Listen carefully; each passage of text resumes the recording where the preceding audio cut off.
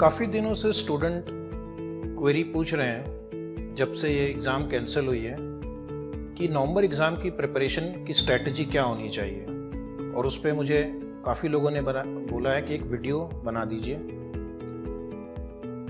Main अभी student के सामने जो क्वेश्चन आ रहा है कि मैं एक ग्रुप अपेयर करूँ, दोनों ग्रुप अपेयर करूँ या सेकेंड ग्रुप करूँ, फ़र्स्ट ग्रुप करूँ तो यहाँ पर मैं अपने विचार बताना चाहता हूँ कि अगर आपके पास टाइम है, अगर आपको ऑफ़िस से लीव मिल चुकी है और आपको नवंबर तक ऑफ़िस नहीं जाना है तो उस केस में आप दोनों ग्रुप की तैयारी कर सकते हैं। क्योंकि अभी आपके पास लगभग चार महीने हैं और चार महीने में आप दोनों ग्रुप बहुत अच्छे से कर सकते हैं। अगर आपके एक ग्रुप की तैयारी ऑलरेडी हो चुकी है, क्योंकि अगर आप जुलाई के लिए प्रिपेयर कर रहे थे तो मुझे लगता है कि आपके एक ग्रुप की तैयारी, अगर आप एक ग्रुप वाले स्टूडेंट हैं तो ऑलरेडी हो चुकी होगी। तो अगर आपने ग्रुप वन की तैयारी कर ली है तो अभी आप ग्रुप टू पे इमीडिएटली शिफ्ट हो जाएँ और ग्रुप टू की तैयारी कर लें। अगर आपने ग्रुप टू की पढ़ाई ऑलरेडी कर ली है तो आप सॉरी ग्रुप टू की पढ़ाई होगी तो ग्रुप वन पे शिफ्ट हो जाएँ आप, ठीक है? अब आपका डेडलाइंस कैसे सेट करना है आपको? कोशिश करें कि 15 या 20 अगस्त तक 15 टू 20 अगस्त तक आपका जो भी सेकंड ग्रुप या फ़र्स्ट ग्रुप बचा हुआ है, वो आप कंप्लीट कर लें। अगर आप फ़र्स्ट टाइमर है नवंबर एग्ज़ाम के लिए, आपके लिए भी मैं वही डेडलाइन देता हूँ कि 15 से 20 अगस्त तक कोशिश करके group one and group two की पढ़ाई कंप्लीट कर लो। ठीक है? उसके लिए आपको चाहिए तो आप वीडियो लेक्चर से पढ़ाई करो सेल्फ स्टडी करो, जैसे भी करो। ये मैं आपके ऊपर चॉइस छोड़ता हूँ। जहाँ पर आपको लगे कि बहुत डिफ़िकल्ट है तो आप टीचर की मदद ले सकते हैं। कोई उसमें हर्ज नहीं है बिकॉज़ आप वीडियो लेक्चर लेंगे तो आपको कुछ ना कुछ बेनिफिट ज़रूर मिलता है उसका। लेकिन फ़िलहाल मैं उसकी प्रमोशन नहीं करने के लिए ये लेक्चर दे रहा हूँ। अब आपको कितने घंटे पढ़ने हैं रोज?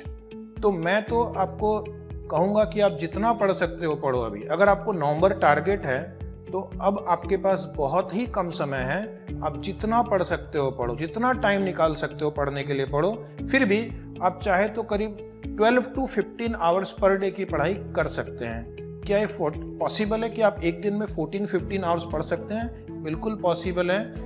Five to six hour sleeping time और घंटा, दो घंटा बाकी एक्टिविटीज़ के लिए है। उसके अलावा बाकी टाइम आप पढ़ाने, पढ़ने के लिए डिवोट कर सकते हैं। एक दिन में मुझे कितने सब्जेक्ट पढ़ने चाहिए? तो मेरा यहाँ पे सजेशन होगा कि आप एक दिन में दो या तीन सब्जेक्ट पढ़ लो। कोशिश करो कि एक प्रैक्टिकल को एक थियोरी के साथ कंबाइन करो। एफआर के साथ ऑडिट ले लो।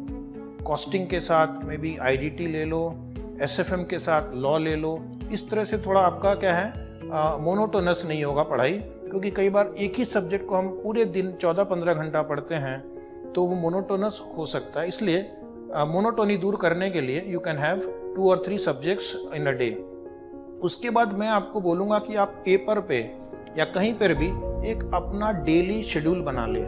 कि मुझे आज ये पोर्शन कंप्लीट करना है तो करना है।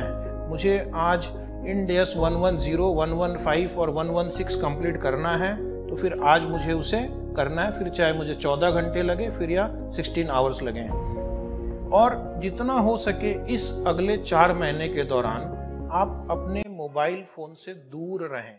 ठीक है? बंद कर दो उसको भले। कुछ नहीं होगा। दुनिया चेंज नहीं हो जाएगी तुम्हारे मोबाइल फ़ोन बंद करने से।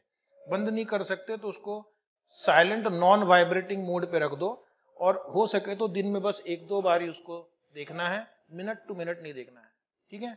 ये अगर आप अपना विल पावर इतना बढ़ा सकते हैं कि हाँ मैं सिर्फ़ कॉन्सेंट्रेट करूँगा पढ़ाई करने में तो आप निसंदेह आप नॉर्मल एग्ज़ाम दे सकते हैं। बोलो, सच बोल रहा हूँ कि नहीं? यस ठीक है?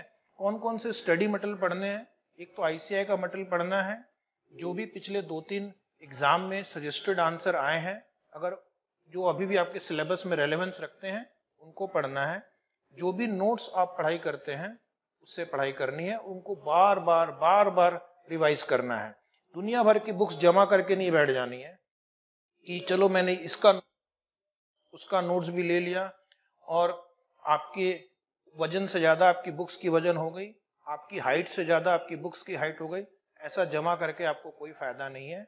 एक टाइम टेबल बनाना है उसको फॉलो करना है एक डेडलाइन सेट करनी है कॉन्सेंट्रेट करना है जितने भी डिस्ट्रैक्टिंग फैक्टर्स हैं उनको उनसे दूर रहना है जो फ्रेंड्स आपको डिस्टर्ब करते हैं उनको ब्लॉक करना है ओके और अपनी हेल्थ का ध्यान रखना है।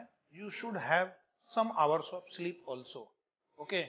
Again person to person the sleep cycle can vary but maybe 5 to 6 hours are enough to uh, have a healthy life. So wish you all the best and आपका result मुझे बताना और एक काम और करना। यूट्यूब चैनल सब्सक्राइब करना A S foundation तो मैं रोज कुछ ना कुछ वीडियो बनाकर आपको दूँगा। Maybe it will help you पता नहीं कौन सा मेरा वीडियो किसकी हेल्प हो जाए और उसकी लाइफ में क्या चेंज ले आए। That is possible so please subscribe to my YouTube channel thank you very much all the best